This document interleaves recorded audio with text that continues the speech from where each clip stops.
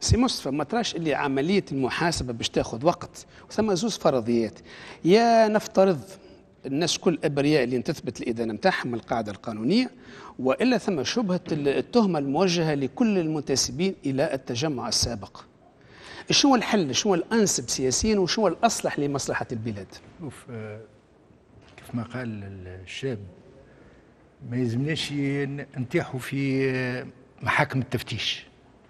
يعني ونقعدوا دائما نحاولوا باش نبقى في إطار دولة القانون. لكن الشيء اللي ما يلزمناش يغيب على ذهننا هو أن آه، تونس عاشت ثورة. والثورة هذه عندها مطلب أساسي. هو التغيير ووضع حد لمنظومة الاستبداد.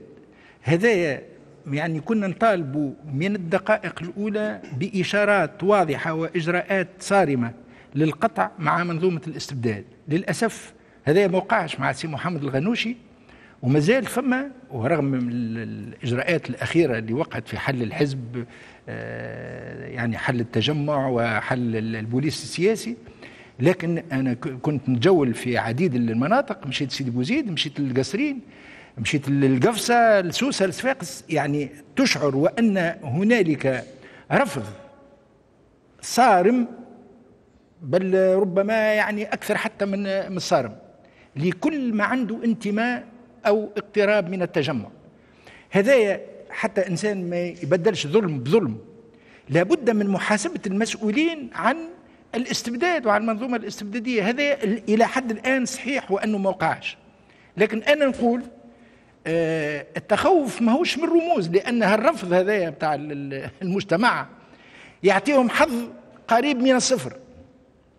رغم أن التجارب العديدة في العمليات الانتقالية الديمقراطية في بعض بلدان من أوروبا الشرقية أكدت أن فما دائما إمكانية انه الناس هذوما يبدلوا الفيستا ويبدلوا الاسم ثم كما قلت سيادتك يعني يخرجوا من الباب يدخلوا من الخوخة.